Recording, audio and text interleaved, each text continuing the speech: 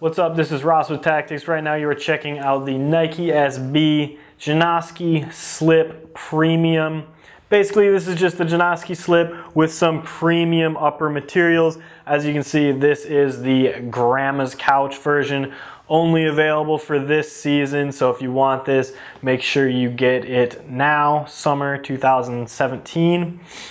This does also come in full sizes, by the way, not just this 5.5 that we have for some reason.